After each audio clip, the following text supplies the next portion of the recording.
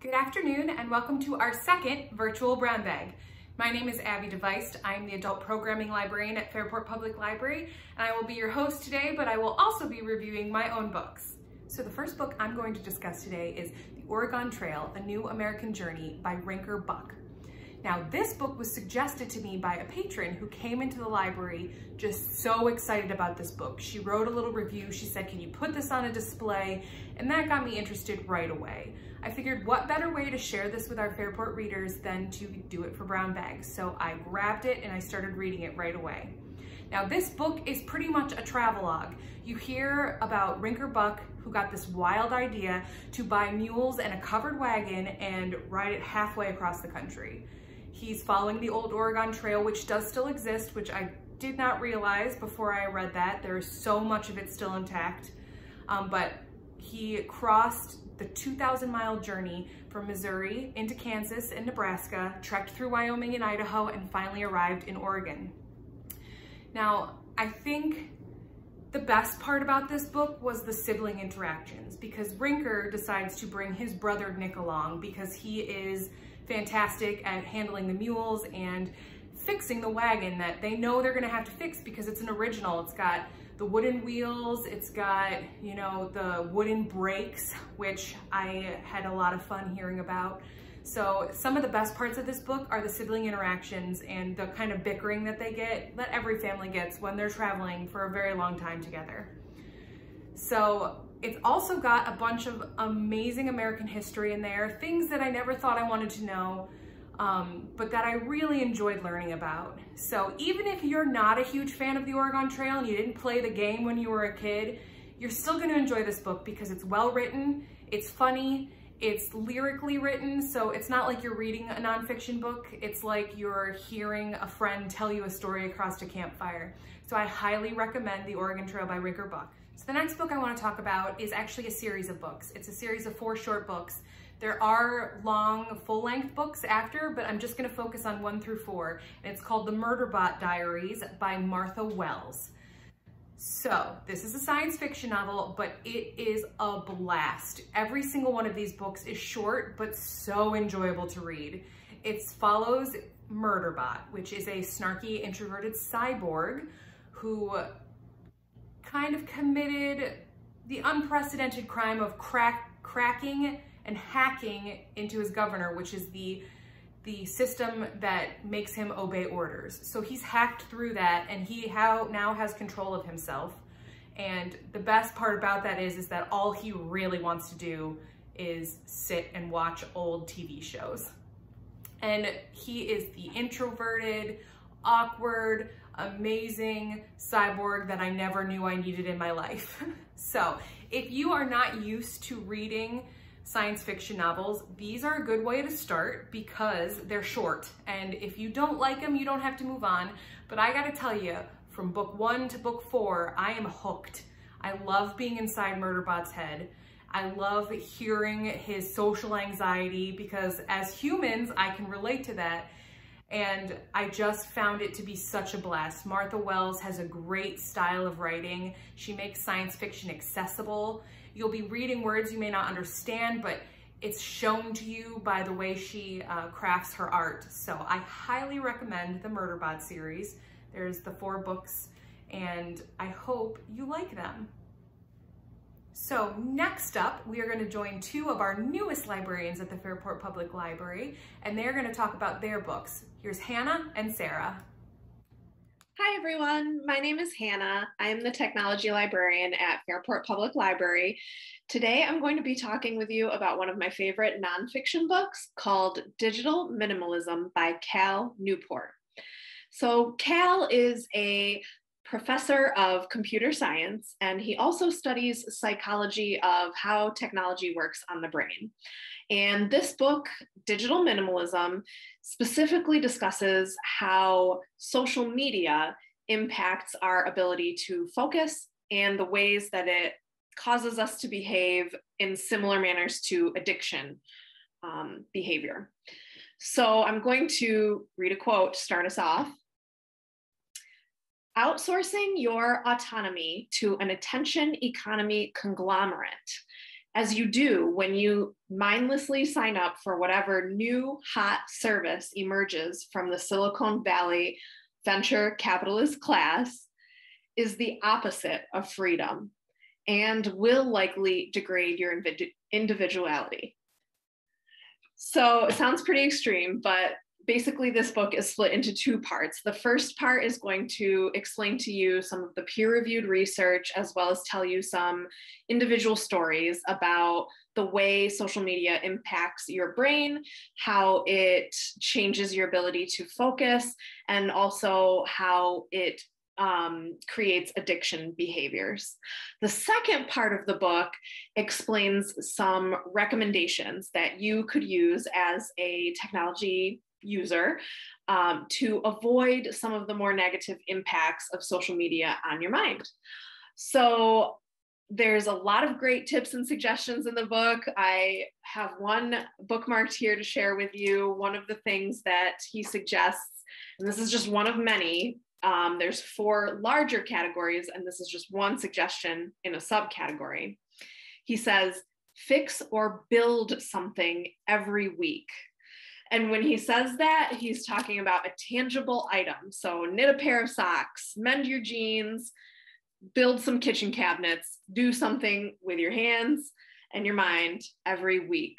Um, so he gives some really good concrete suggestions as to how to disconnect a little bit from the digital addiction and um, in the end, he allows you to have a really well rounded perspective. He's not um, claiming that all technology is bad by any means. In fact, as a computer science professor, the author is a really big fan, as am I, as the technology librarian. We all love tech. Um, but to sum it up, I'll read his definition of digital minimalism.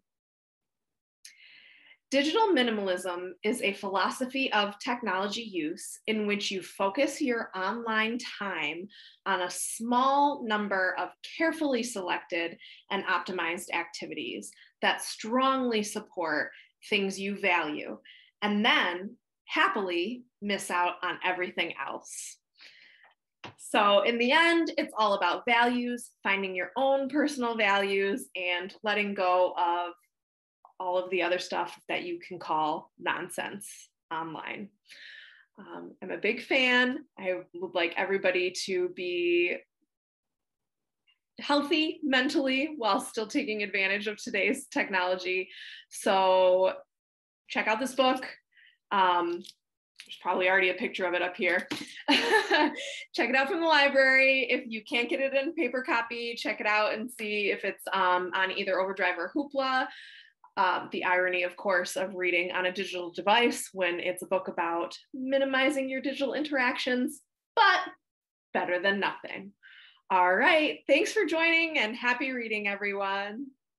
Hi, everyone. My name is Sarah Bishop Vales, and I'm the Media Services Librarian here at the Fairport Public Library. I don't know about you, but sometimes in the dead of winter or during a really stressful time in my life, like this pandemic, I find myself needing a lighthearted book, something to make me laugh and cheer me up. My all time favorite for just such occasions is Howl's Moving Castle by the late Diana Wynne Jones. Howl's Moving Castle is a teen fantasy novel that was published in 1986. It is the first book in a three part series and is followed by Castle in the Air and House of Many Ways. However, it successfully stands on its own, with the other two books in the series being optional. Because of this, today I'm just going to be discussing the first one. I don't think there's any better way for me to introduce this story and convey the author's delightful writing style than to just read you the first couple chap first couple paragraphs. So here goes. Chapter 1, in which Sophie talks to Hat. In the land of Ingary, where such things as seven league boots and cloaks of invisibility really exist, it is quite a misfortune to be born the eldest of three. Everyone knows you are the one who will fail first and worst if the three of you set out to seek your fortunes. Sophie Hatter was the eldest of three sisters. She was not even the child of a poor woodcutter, which might have given her some chance of success. Her parents were well to do and kept a lady's hat shop in the prosperous town of Market Chipping. True, her own mother died when Sophie was two years old and her sister Letty was one year old, and their father married his youngest shop assistant, a pretty blonde girl called Fanny. Fanny shortly gave birth to the third sister, Martha. This ought to have made Sophie and Letty into ugly sisters, but in fact, all three girls grew up very pretty indeed, though Letty was the one everyone said was the most beautiful. Fanny treated all three girls with the same kindness and did not favor Martha in the least. Mr. Hatter was proud of his three daughters and sent them all to the best school in town. Sophie was the most studious. She read a great deal and very soon realized how little chance she had of an interesting future. It was a disappointment to her, but she was still happy enough looking after her sisters and grooming Martha to seek her fortune when the time came. All right, now, as you can tell, the author is letting us know from the get go that she will not be following any of those cliche fairy tale themes like the wicked stepmother or rags to riches. No, this seems to be more a case of our main character, Sophie, settling for a boring but safe life and trying to convince herself that she's okay with it. I just want to pause here for a second and mention that when I first read Howl's Moving Castle, I found this chapter to be really off putting, as it just breezes right through a bunch of details. It feels so rushed and even a little disjointed that I was about to put the book down for good, but I'm so glad I kept reading. This first chapter is just the author setting the stage for the rest of the story, and once you get into the next couple chapters, the story really picks up and becomes very engaging. Okay, back to Sophie and her life choices. So, we later learn in this first chapter that Sophie settles for a quiet life taking over the hat shop, while her two sisters are apprenticed to a baker and a witch. However, Sophie continues wishing for a more adventurous life, and in the land of Ingary, with witches and wizards running about, she doesn't have to wait long for something very interesting to happen. One morning, Sophie encounters a well to do customer demanding to see some hats.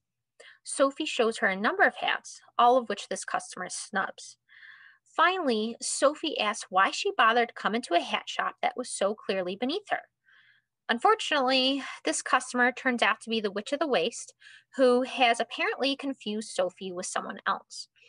By the time the witch leaves, Sophie is aged several decades, quite literally. Now that she's been cursed to be an old woman, Sophie decides to leave the hat shop and sets off to where we're not told. It actually seems as if Sophie herself doesn't know, but she definitely does not want anyone to see her in this current state. As she heads into the countryside, night falls, and the only shelter she manages to find is a moving castle that is known to be the home of the wicked wizard Howl. The adventure really takes off from here, and Sophie finds herself thoroughly mixed up in the world of magic, full of secret bargains, jilted witches, and a wizard in hiding. But will she ever be able to break her curse? You'll have to grab a copy of this book to find out. Howl's Moving Castle is an exciting and hilarious romp through the imaginary world of Ingary. It's filled with mystery, suspense, and even a little romance. Many of you are probably more familiar with Howl's Moving Castle as the Japanese anime movie by Hayao Miyazaki. The movie is loosely based on Diana Wynne Jones' book. I actually did not find out about the book until after watching the movie. And you're probably wondering whether I prefer the book over the movie, which is, of course, what we book lovers usually say. But in this case, I love them both. Howl's Moving Castle, the book, and Howl's Moving Castle, the movie, are so different that I actually find them both excellent in their own unique way. So, for this book to film adaptation, I'm not going to advise you one way or another. I think that whether you read the book first or you've already watched the movie, you will be delighted with this humorous and enchanting story. Thank you. Thank you both so much. Those books are very different, but they both sound very interesting. Next up, we're gonna go over to the children's room and we're gonna see Lauren and Tara, and they're both gonna talk about some books for you. Hi, I'm Lauren, and I'm one of the children's librarians here at Fairport Public Library. And this month I thought I'd do something a little bit different. Um, I know a lot of you have children in your lives, maybe your kids, grandkids, kids that you just know. And a lot of you just enjoy children's books as well. So I thought it would be fun if we uh, talked a little bit about some children's books that might be great to read with the kids in your life or on your own. So the first one I wanted to talk about is one of my favorite books of all time. It's The Book with No Pictures, um, written by B.J. Novak, who you might know. He's one of the writers and actors on The Office. He's done tons of awesome things, including creating this book. This book is the perfect read aloud um, if you want to make everyone around you laugh, young and old and in between. Um, the first time I read this book, I was uh, I was reading it to a group of kids, and I had not read it before. And everyone was on the floor laughing by the end. So it's just super fun. And obviously, you know, who reads a picture book without pictures? But when you get into it, I'll just show you a little bit. It tells you that it's a book with no pictures and, um, you know, it could seem boring, but there are some rules. Uh, when someone reads a book, they have to read what the words say. And you'll see as you go through, some of the words are really silly, like blork and blurf. And, and you, you get through the book, um, there's just, it, it, forces you to make silly voices like um, be, be a robot monkey you know, things that kids and adults will love.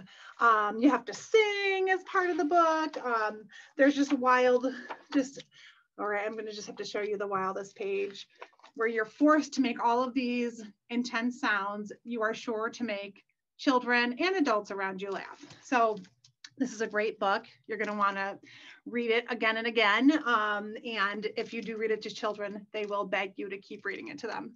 So that's the first one I wanted to talk about. The next book I want to talk about is a newer book. Um, it just came out, um, I think this year, it may be the end of 2020, but I think it actually just was published in the beginning of 2021. Anyway, it's called Eyes That Kiss in the Corners. Um, it's written by Joanna Ho and illustrated by Dung Ho. And what is so beautiful about this book, I'm actually going to tell you a little bit from the, the front cover here. Um, in this story, there's a young girl who notices that her eyes look different than her friend's eyes.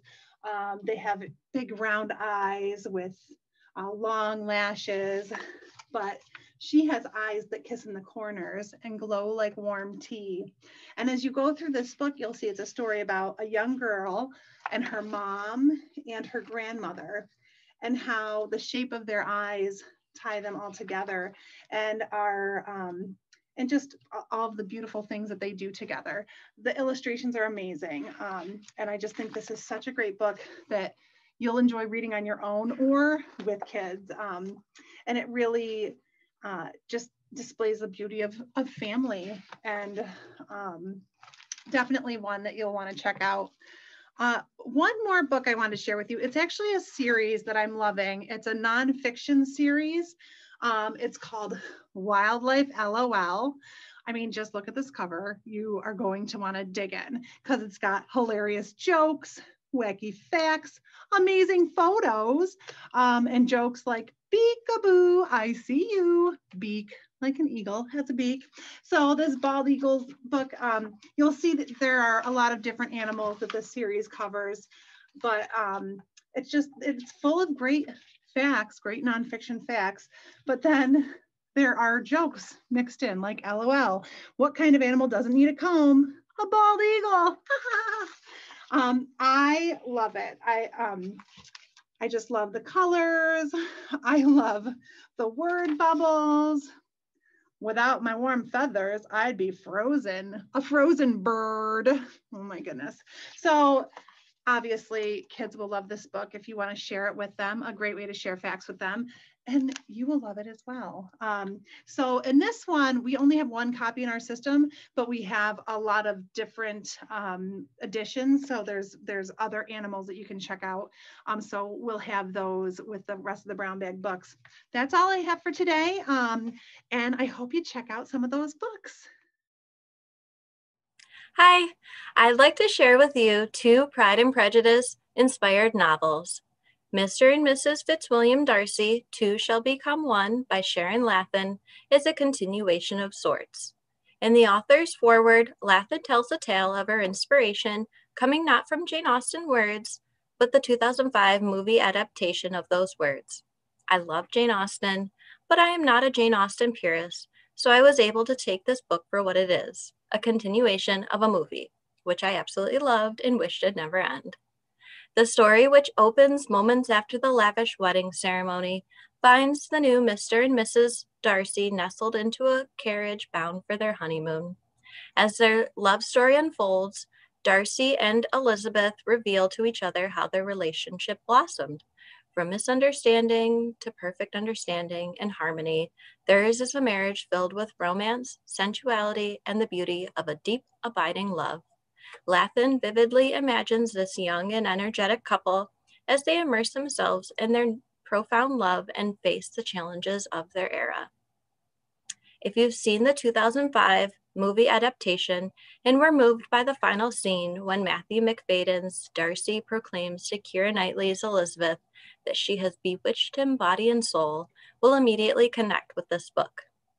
The Trials of the Honorable F. Darcy by Sara Angelini is a modern retelling of the original, but with quite a few surprising twists. Elizabeth Bennet, a fresh faced, sassy trial attorney, takes an instant dislike to Judge Fitzwilliam Darcy, a wealthy British landowner who, thanks to an American mother, holds dual citizenship and thus can be a judge in the California town of Merrington. Tempers and sparks fly in Judge Darcy's courtroom and outside as the two match wits and try to fight their overwhelming attraction. When they meet up in England at an international law conference, they embark on a hot and heavy affair. Back in the States, though, ethical considerations intrude and each is subjected to a torturous period of soul searching before they can find their way back to each other. Angelini did a fantastic job of modernizing and adapting the characters of P&P to the 21st century and the legal world. Jane and Charles Bingley are surgeons. Louisa Hurst appears in the form of Elizabeth's gay best friend, Lou Hurst, and Darcy and Caroline are casually sleeping together. Darcy was a perfectly haughty and judicial judge. I could easily see Elizabeth Bennet as a persuasive and preserving defense attorney, and I laughed out loud at the hysterical hippie version of Mrs. Bennet. I loved reading this delightfully romantic and passionate journey of Darcy and Lizzie. Sara Angelini established a creative and unique premise for the beloved Pride and Prejudice characters. However, I should point out that it does not follow the P&P plot sequence exclusively. In addition, I would recommend this book for a mature audience because of the profanity and very steamy, intimate scenes included. Both books I have read multiple times, and if you two are open minded and love to read Pride and Prejudice inspired novels, then you should not miss these books. Thank you both, and thank you for providing us with some interesting and unique versions to Brown Bag. We haven't had children's books before, as far as I know, so I appreciate the difference. Next up, we've got two more of our librarians, Karrie and Carly, and they're gonna both be talking about some very fascinating books.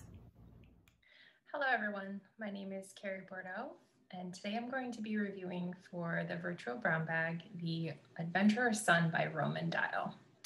So this is a memoir. It came out last year, just around the time the pandemic was hitting. I found it out about it maybe a few months ago, um, listening to a Fresh Air episode with um, Dave Davies.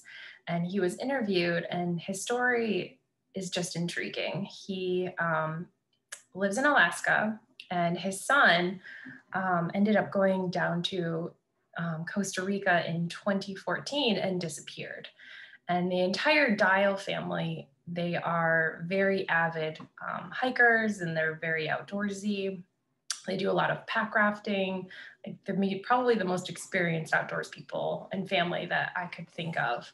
Um, so to read this story, it's quite engaging. The first half of the story talks about Roman Dial, who's the father, his upbringing, how he ended up ended, ended up in Alaska, became um, a biologist, does a lot of like cross um, trekking and hiking, especially in the winter months, and doing a lot of cool things. And then how he had his children and met his wife, and then how he got his kids involved in doing these really amazing um, adventures, like going to Borneo with his kids and his family and doing all these different trips and then doing a little more research outside of the book, find, finding out that him and his wife have traveled to like Patagonia and like New Zealand and did all these cool hiking and all, all this cool stuff.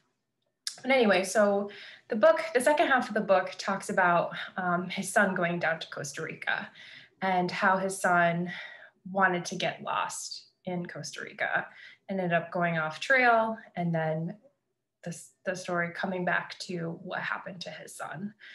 So this is a little bit of an adventure story for those that can't travel, um, that really want to go and travel. Myself, having been to Costa Rica, I was really intrigued to see what part of Costa Rica this took place in, um, all the different in-depth jungle expertise that was needed for this type of adventure. Roman and his wife ended up going down to Costa Rica um, for multiple years trying to find what happened to their son. And in conclusion, they did end up getting an answer, which I'm not going to tell you. But I think this book is just like a really great read. There's also an audiobook, which is really good too, to listen to it a little bit of listening as well. It's just such an engaging story about a father trying to find his son in another country in the middle of, of nowhere in a deep jungle that people do not really go into. Um, and like all these things that come up and happen, it's you know, it's a scary story for in the sense that, you know, he does lose his son, but it's it's also an adventure story that you get to go and experience this entire, you know, life with Roman Dial and Cody's life. So it's just it's something to definitely, I think, look into reading if you are seeking to try and get outdoors, especially in March when it's still pretty cold here in Rochester. Um, and you're trying to step away a little bit and he definitely puts the perspective of you're with him on this journey and you get to really peek into his life and his son's life so. Anyway um, and i'd also recommend listening to his interview with dave davies on fresh air. It's quite it's quite good. Um, it's good to hear actually from the author and his own experience. You know his words after reading his book so. Anyway i hope you pick up the adventurer's son by roman dial Thanks. Hi everyone, my name is Carly Dennis. I'm the Teen Services Librarian. Today I'm going to be reviewing Thurgood Marshall by Teri Kanefield. This book is part of the Making of America series. Other books um, in the series cover Alexander Hamilton, Andrew Jackson, Abraham Lincoln, Susan B. Anthony, Franklin D. Roosevelt. It's a series that's aimed at younger tweens, teens, kind of ages 10 to 14. Um, I think they're wonderful books for all ages. Um, this series is all, all six books are available in the library um, as physical copies. They're also available on on Hoopla um, on, in audio, so you can listen to all of them. Um, I won't lie, I was initially just really attracted to the covers. I thought that they were just really cool looking covers. And the concept. They're just these really short biographies. That's like what the book itself looks like. Um, so I realized the person that I didn't know that much about was Thurgood Marshall. So I knew he was the first African American Supreme Court justice and that he was involved with Brown versus Board of Education. But that's about it. I didn't know any really details um, about his life. So this um, this book tells his story in very short chapters. We learn about things that shaped him, including his politically active family, the neighborhood that he grew up in in Baltimore, Maryland, in early 1900s. Um, we hear stories about individual family members, including an incredible story about his great great grandfather, which you need to read the book to learn more about that. Um, Thurgood Marshall was raised in a family that had very high expectations. His brother went on to become a doctor. Thurgood, of course, went on to become a lawyer. Um, but you also learn these little tidbits, like in his early college years, he wasn't a very serious student. He liked to socialize, he liked to attend parties. Um, but then he does start to get serious about school when he goes to Howard Law School. And it's at Howard Law School that he meets Charles Hamilton Houston, um, who's the dean of the school, and a very important person in um, in Thurgood's life. He's uh, Houston is no joke. He's very serious. He expects his students to work really hard. Um, Marshall starts applying himself 100% to school. Meanwhile, you know, personally, he, you know, he marries Buster, his first wife. Um, and then he becomes a longtime civil rights lawyer for the NAACP. And it's when he's with the NAACP that he argues um, 32 cases before the Supreme Court. 29 of those cases he won. Um, these are all cases around civil rights. So he won 29 of 32 cases that he argued before the Supreme Court. That's pretty impressive. So he's his most well-known win, of course, is Brown versus Board of Education in 1954, which invalidated the concept of segregation in public schools. Um, this book does a really good job of showing context when they're telling Marshall's story. So you get like um, you understand what life is like for Black Americans during the Jim Crow era, um, with um, the prominence of the KKK, as well as lynchings, um, and you also get like a, a, a shot into like a, a, a view of his personal life, like such as like the same year that he won Brown versus Board of Education, his first wife died of lung cancer, and that was very devastating to him. And um, so then, skipping ahead, um, Thurgood Marshall is confirmed to the Supreme Court in 1967, and we learn how this happens and how people responded to it, you know, both positive and negative. Um, so I I gave some highlights to the content of this book, but check it out. The narrative is lively. It's very approachable. It's really easy to just um, to to read it. Um, it's a great. It tells it like it's a story. Um, we hear about the civil rights cases that Marshall argues, and it's just incredible. He just had. He was just a brilliant mind. Um, it also contains photos and helpful explanation boxes um, throughout the, the book. And if you want to, you can, like I mentioned earlier, you can check it out on audio. Um, it is available on Hoopla and as well as the other books in the Making of America series. And these books are really short um, to listen to on, on audio. They're only four hours long. So thank you so much for listening to my review and thank you so much for attending this virtual brown bag book review. Next up, we're gonna go back into the children's room and hear from two of our children's room aides, Lee and Sarah. Just as a heads up, the volume in Lee's video sometimes goes up and down, but please turn up your volume because the book they are talking about is worth a listen. So here they are name is Lee Cooney, and I'm one of the children's room aides at the Fairport Public Library. Today I'd like to share with you a book called I Wish You All the Best by Mason Deaver. It's teen realistic fiction and one of the best books I've read recently. The book is told from the perspective of Ben, a high school senior who comes out to their parents as non-binary, but they are immediately kicked out of their house and forced to live with their estranged sister and her husband. Due to the trauma of coming out to their parents, Ben decides to keep their identity a secret at their new school and suffers through constant misgendering by teachers and new friends alike. Still, they manage to find a new home with their sister and must decide whether their parents will ever be their family again. It's a beautiful story about chosen family, finding your true home, and learning to love yourself. Written by a non binary author, I Wish You All the Best is a candid exploration of the challenges struggles, and successes of non-binary and other gender non-conforming people. It takes a long, hard look at the biases and prejudices faced by queer people, but also the heartwarming joy of finally figuring out where you belong. Hi there, I'm Sarah and I work here in the children's room at Fairport Library. I'm going to give you my review on a memoir by Christie Tate. It's called Group, How One Therapist and a Circle of Strangers Saved My Life. Quick tip, if you're pressed for time, I highly recommend listening to it.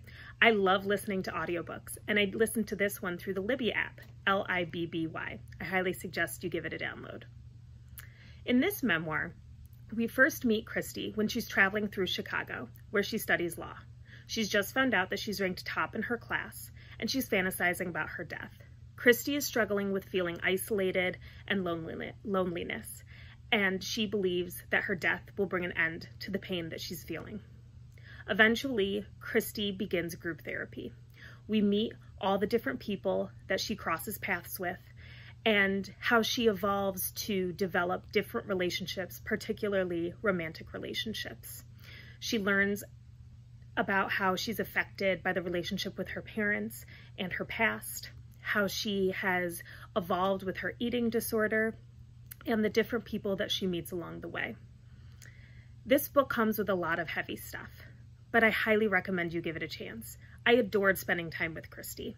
She's very honest, she is raw, and she is very relatable.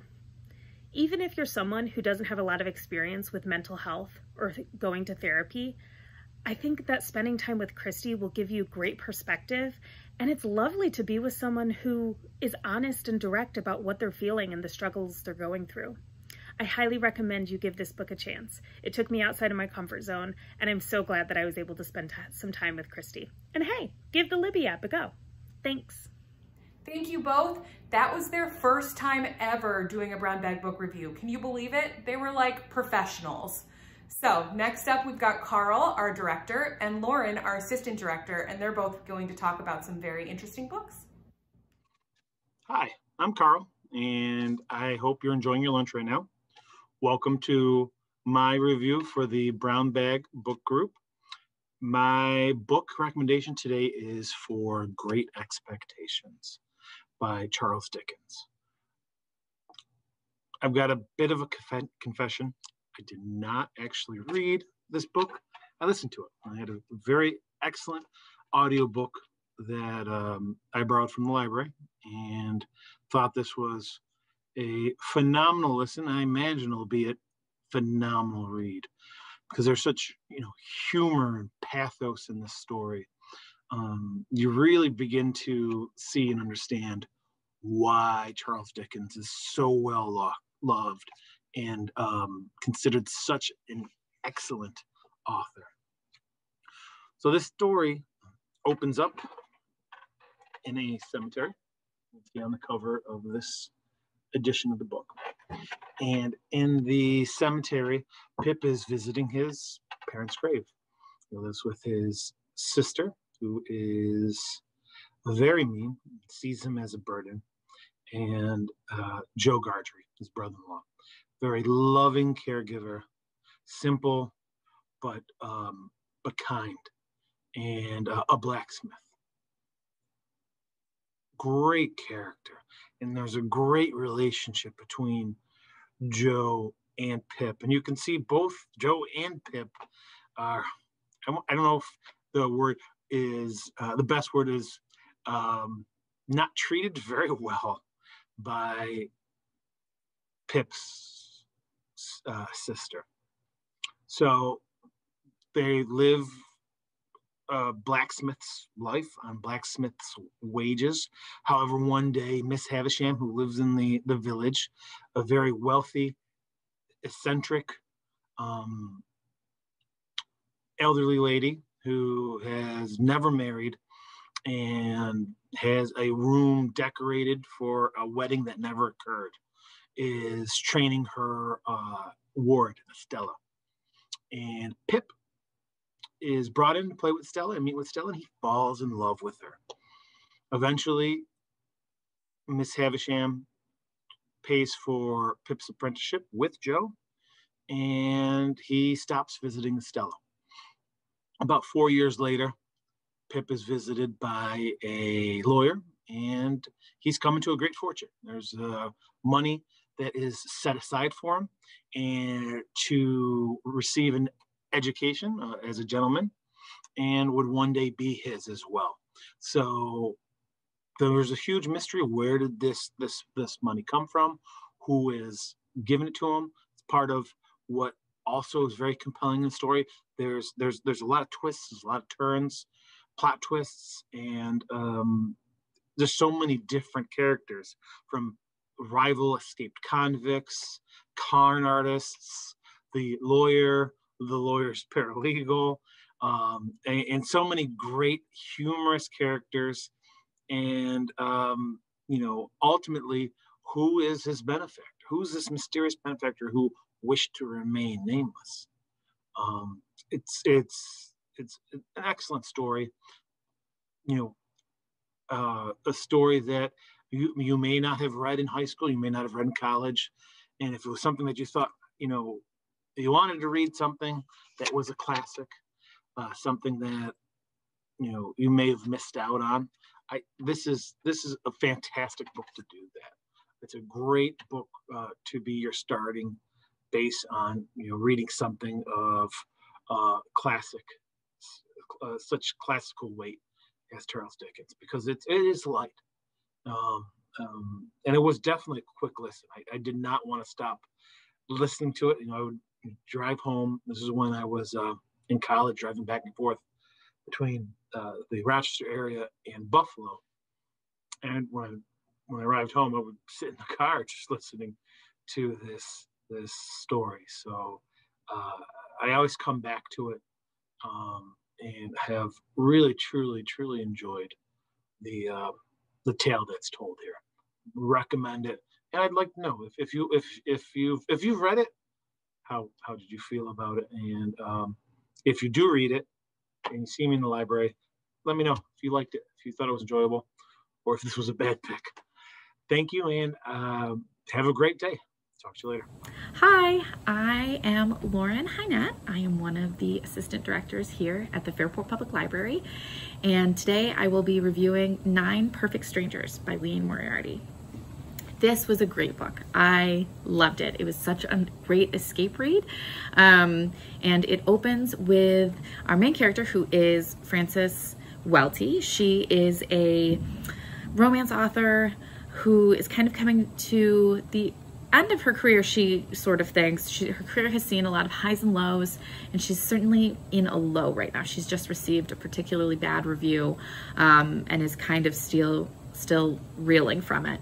Um, so she decides, in order to make herself feel better and maybe, um, you, you know, achieve some wellness, she checks herself into Tranquillum House, which is sort of like a Gwyneth Paltrow-y, very goopy um, wellness center in Australia. She is Australian. All of these characters are Australian. Um, and she checks herself in. It's for 10 days, and she is hoping to uh, make herself feel better from this review. She also has a particularly bad cough. She's hoping to achieve some wellness and, and also to heal from a particularly painful paper cut. um, so that kind of gives you an idea. And she goes on about a paper cut for a little bit, so uh, that kind of gives you an idea of what kind of character she is. Um, but she's great. I loved, loved reading this through her voice. Um, and the really interesting thing is there are nine guests in total who come to this house and um, the chapters do flip perspectives between all of them, um, which I, I, really enjoyed. And um, but we do start with Frances and you know the longer she's there, she becomes more and more intrigued with the other guests. Some are there for wellness, some are there to lose weight, some are there to maybe repair their marriage. And then, you know, there's also a family there that's looking to strengthen their bond a little bit. Um, and all guests are there for 10 days, like I said. Um, and you know, it's it's the usual things of it starts out with the usual things like there's smoothies and yoga and midnight meditation. Um, and then Frances starts to notice some things are a little weird. Like there are cameras in every room, even though they are told that there's no screen time, they can't have cell phones, nothing like that. All of that's taken away from them. Um, and then, you know, even though she signed up on the website and read the fine print, there was nothing about how the first four days they have to be totally silent. They can't talk to each other. They're not allowed to look at each other. Even if they came with a spouse, you're not supposed to talk to your spouse at all, even in the privacy of your own room privacy. Remember the cameras. So, um, it, and, and she starts, to, Frances starts to realize things are a little off about Tranquillum House. And um, she's especially interested in the uh, strange and but charismatic director, um, and who who does a lot of the midnight meditations with them. And she's also really interested in in some of the other staff who um, seem very gung ho about about this wellness retreat and, and, and really giving them all to the, to the silent meditation. Um, and, you know, on, on one of, on Frances's first day, she gets a massage from the massage therapist and uh, it's, it's right before the silence is about to begin. And right before the last gong tolls, she the masseuse leans into Frances's ear and says, don't let them make you do anything you don't want to do. And so that kind of sets the tone. Things, something is very off about this place. Um, and I don't want to give too much away. It's it's it's a really great book, um, and the more you learn about the different characters, the, the the better it gets. So it does start off as a little bit of a slow burn, but I would say by definitely halfway through the book, I had to find out what happens, and and it, it's a pretty wild ride. I loved it. It was really great. Um, if you like other books by Liane Moriarty, Moriarty, for example, her probably her biggest one to date is Big Little Lies. If you liked that you will like this. It's it's pretty much in the same vein. Um, and I would I also wanted to mention that this has already, of course, been picked up by, I think, Hulu, and it will be a mini series with Nicole Kidman. So uh, I'm definitely looking forward to that. So I hope you read it and I hope you enjoy. Um, and I would love to talk to you about it if you come visit us at the Fairport Public Library. Thanks. Last but not least, we have a favorite of Brown Bag, Hema, our retired librarian, who is sending hers in all the way from North Carolina. We're so glad you're with us, Hema. So here's two books that she recommends. Hi, I am Hema Parthasarathy, a retired librarian from Fairport. I have two books for you today. Uh, the first one is called Memorial Drive by Natasha Trethewey. This was published uh, last summer, summer of 2020. Uh, this is not only beautifully written and heartfelt, but it's also a story that needs to be told. Uh, Natasha recalls her mother, Gwendolyn, Gwendolyn's life and death, and it is both a fascinating and a tragic story. Natasha's parents, Rick and Gwendolyn, met in college and fell in love. Since they lived in the South, and this was in 1966, they were unable to marry in, the, in their home state. So they had to drive to Ohio to get married. Her father always told her that she needed to become a writer because her biracial upbringing was a story that should be told as it was quite unusual for that time and place. Unfortunately, her parents grew apart.